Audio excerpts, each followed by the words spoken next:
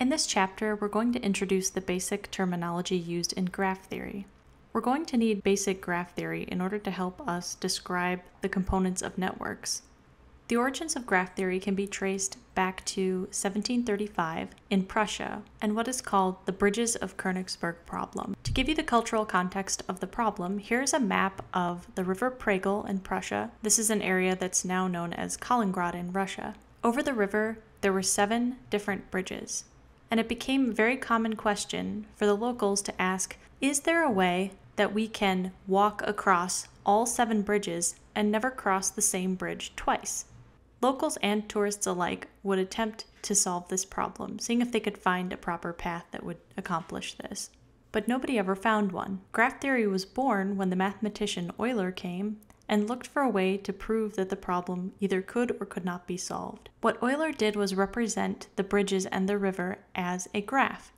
Here we can see that graphical representation. The points A, B, C, and D we're going to refer to as nodes. These nodes represent the land that is separated by the River Pregel. There's a connection between each node wherever there's a bridge. We're going to refer to these as edges. Using the first ever mathematical proof related to graph theory, Euler showed that you can't actually walk across all seven bridges and never cross the same bridge twice.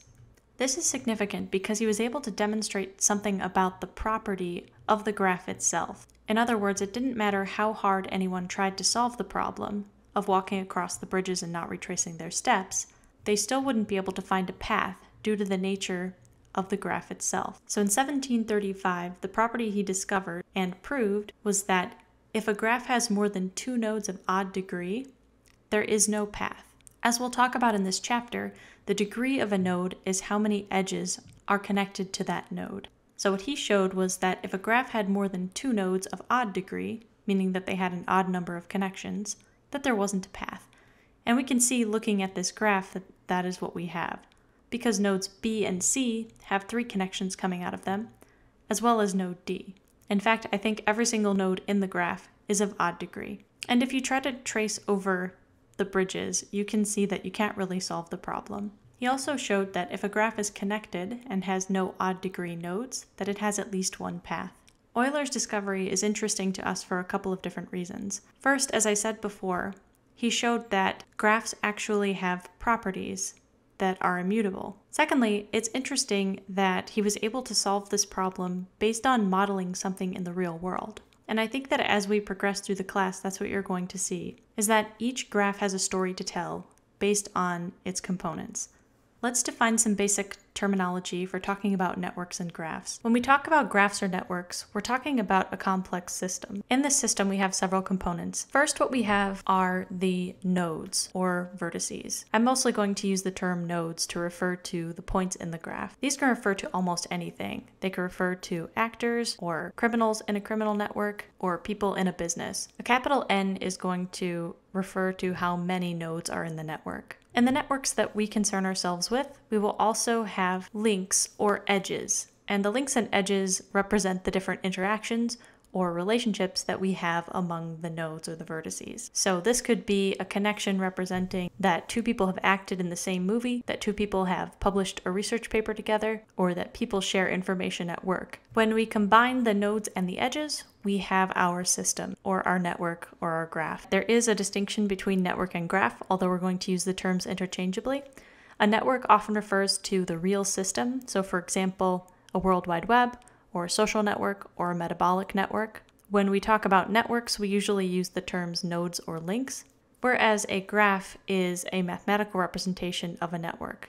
This could be without using labels or names for that matter, like a web graph or a social graph. The social graph is actually the term that Facebook uses in their API for collecting data. The language you use for graphs is typically vertex and edge. So again, if we have to make this distinction, we will when it's appropriate, but in most cases, we'll just use the two terms interchangeably. This is the simple language that we'll use in order to describe real networks. You can see here a few different examples. This illustration shows the difference between network and graph. The underlying graph of each of these networks is actually the same. It's a graph of four different nodes and four different edges or links. But we can actually overlay different real world examples on the graph that are our networks like a computer network, metabolic network, or a network of actors.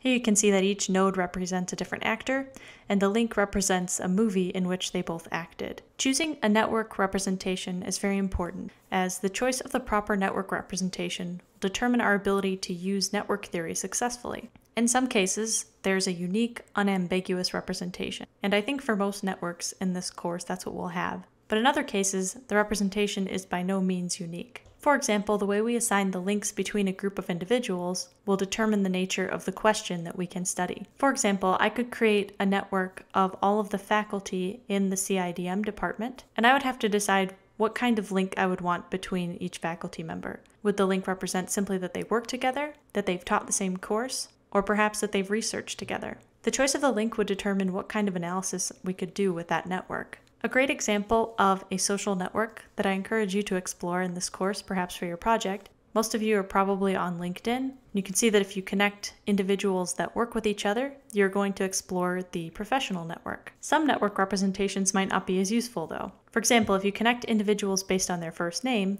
like we connect everybody named Peter, well, we certainly have a network, but I'm not really sure what kinds of things we can explore. It is a network, nevertheless. I actually think there are some questions that you could ask about all the people that are named Peter connected to each other. Be interesting to see if there's some kind of pattern. When we talk about networks, we'd also like to talk about different properties of nodes. Here we're going to define degree and degree distribution. The degree of a node is going to be the number of edges that are attached to that node. The average degree we can calculate for the entire network. That would answer for us on average, how connected is everybody in the network? And if we plot a distribution, we can also look at how many hubs we have in the network. How many people are very connected?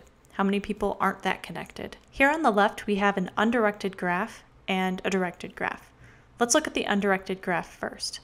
You can see it's undirected because we don't have any arrows. So the connection between nodes is the same from one node to the other and vice versa. The degree in an undirected graph is simply the number of links connected to the node. So the degree of node A is 1 and the degree of node B is 4. You can count all of the edges coming out of that node. In a directed network, it's slightly different. First of all, you can see that this network does have direction. So A points to B, but B does not point to A. We would need a directed network to represent Twitter followers, for example, because maybe person A is following person B, but person B is not following person A. In a directed network, we define an in degree and an out degree.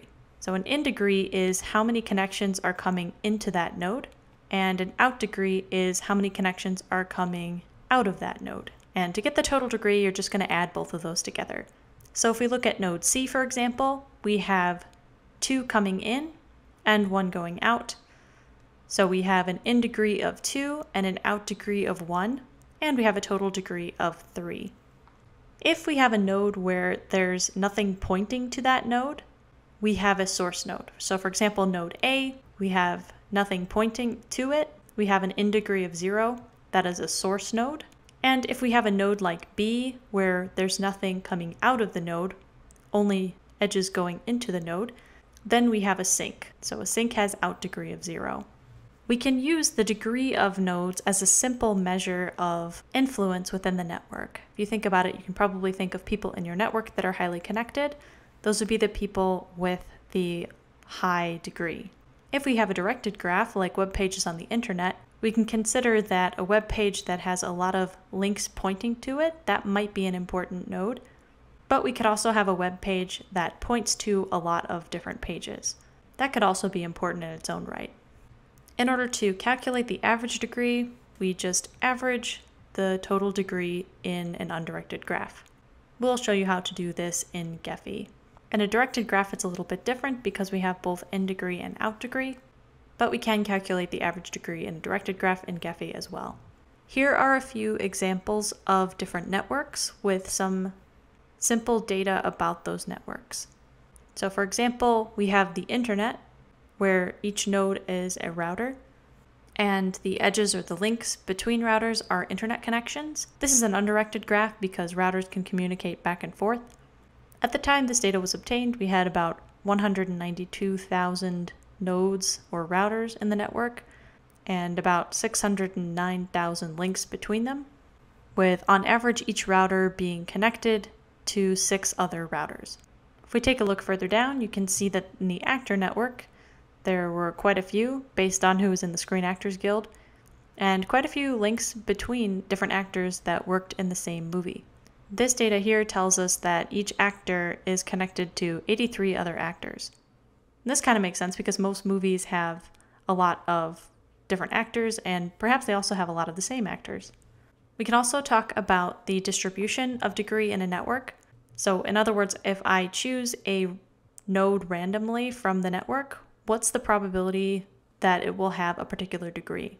And as Barabási mentioned, we mostly have nodes that only have a few different connections because most people are connected and will have very few hubs.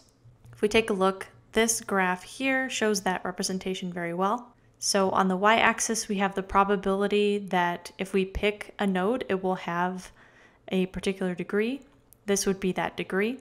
What this tells us is that the probability of picking a node in this network with a number of connections of 90 is pretty slim, but the probability of finding a node with only a few connections is pretty high. This is another statistical way of modeling this, and this is the network of interest.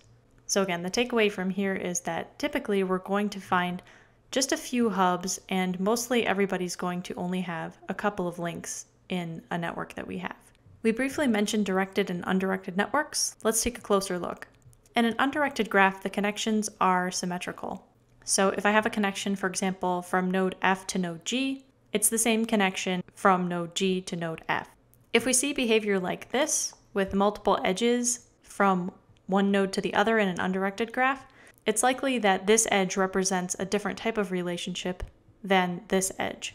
We can also have a case where a node is connected to itself. For example, if you had some kind of evaluations in your company and somebody got to evaluate themselves, that might represent that.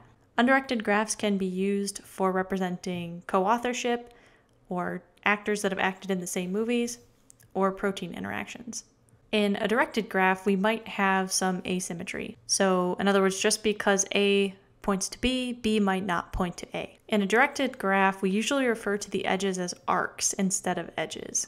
And the shorthand is referring to the graph as a digraph or a directed graph. And if you think about it, an undirected link is just two opposite directed links. So if we have from E to D in an undirected graph, we would also have from D to E. Directed graphs are pretty common, like web pages on the internet or phone calls that have been placed, Twitter, or metabolic reactions.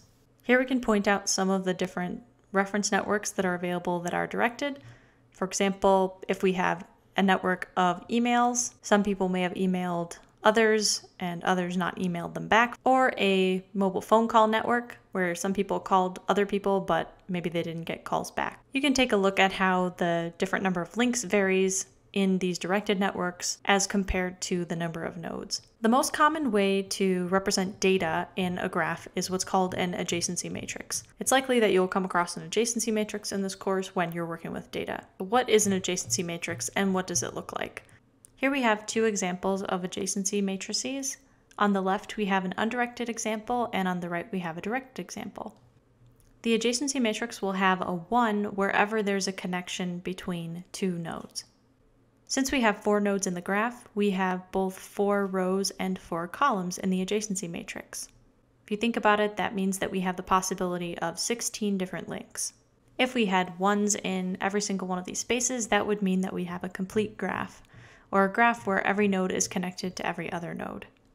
The way we read this is column first and then row. So this column indicates which nodes node 1 is connected to. This column indicates which nodes node 2 is connected to, node 3, and node 4. We read this saying that we have edge 1, 2 in this graph. So node 1 is connected to node 2. Node 1 is also connected to node 4. If we start in this column, we have the different connections for node 2. So we have node 2 is connected to node 1, as well as node 2 is connected to node 4. Notice that in the undirected case, we have symmetry across this diagonal line because if there's a connection one way, there's a connection assumed to be the other way as well. If we look at the directed adjacency matrix, we don't have this symmetry. We would only have the symmetry if we had arrows pointing both ways for each edge. but we interpret this in the exact same way. So here we can see that we have a connection from node 1 to node 2 and from node 1 to node 4. We also have a connection from node 4 to node 2 and from node 4 to node 3. And again, this is not symmetric because even though we have 1 to 2, we do not have 2 to 1. So again, there's a 0 every place that there's no edge, and there's a 1 every place that there is an edge. Here is a larger example of an adjacency matrix. The adjacency matrix gets larger the more nodes that you have in the network. Most adjacency matrices are sparse, meaning that there aren't a lot of ones because there aren't really that many connections in the graph. If you think about some examples of real world networks, you'll see that this is true. Typically, you don't have complete graphs or cases where everybody is connected to every other person in the network. So we have this characteristic of sparseness, and real networks are sparse. On the right, we have an example of what's called a complete graph. In a complete graph, if you choose a node, that node is going to be connected to every other node in the graph. And if you wanted to calculate the total number of edges in a complete graph, you could use this formula. If the maximum number of possible links is used in a graph, it's a complete graph, and its average degree can be calculated as 1 minus the total number of nodes in the graph. If you have a complete network, you can easily calculate the average degree in that network. If we take a look at these real-world examples and their data, we can see that real networks are sparse. For example, take a look at this movie actor network. We have around 200,000 nodes, so about 200,000 actors, and we only have 6 times 10 to the power of 6 links in the network, which considering how many nodes there are, isn't that many. Because here we can see that the maximum number of possible links, which would mean that every actor in the network had acted in at least one movie with every other actor, would be 1.8 times 10 to the power of 13. So you can see that the number of links is way less than the maximum possible number of links. If you haven't heard of Metcalfe's law, Metcalfe's law states that the value of a network is proportional to the square of the number of its nodes. Metcalfe formulated this around 1980 based on the different networks that communication devices were starting to generate at that time. And in the late 1990s, this was used as a quantitative valuation for internet companies. So he suggested that the value of a network is based on the square of the number of nodes but the cost of using that network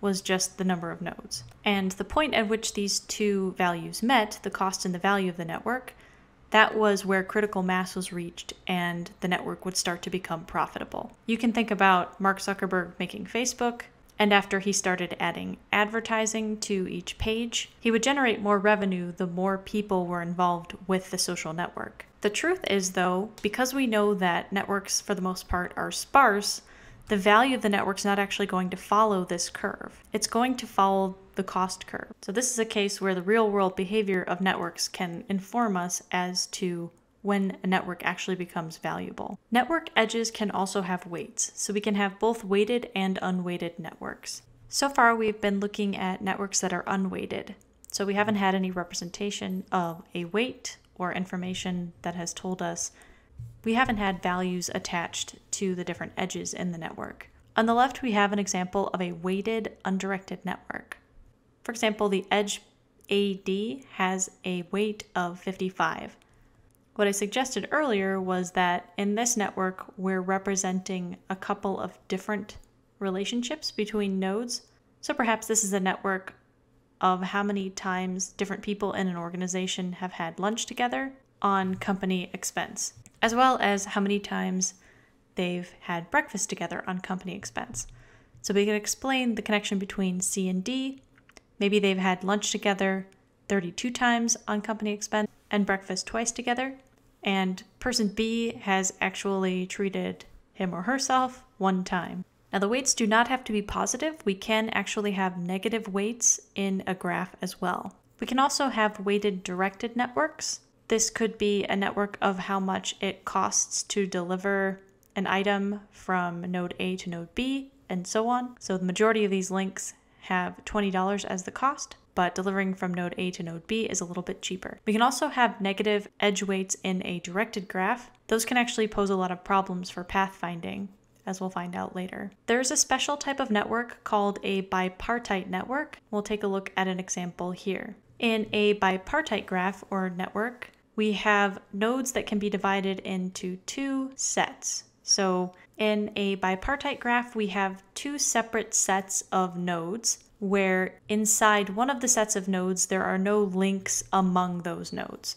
So let's take the example of different people who are fans of different sports teams. So we'll say that we have seven different people and they are fans of four different sports teams. So person one is a fan of team A, person two is a fan of both team A and team B, person three is a fan of team A, and so on.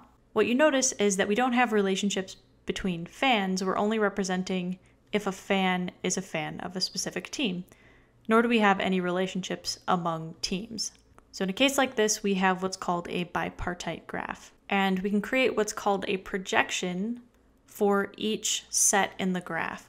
So we can actually create a graph of the fans as well as a graph of the teams based on how they're connected. And we can do this automatically using the tools that we have. So you can see that the nodes in the projection are connected if they share the same team in this case. And the teams are connected if they share fans. So since we have a fan who's a fan of both Team A and Team B, we have a connection between those teams in the projection. In this section of this chapter, we introduced the Bridges of Königsberg problem. That was the start of graph theory.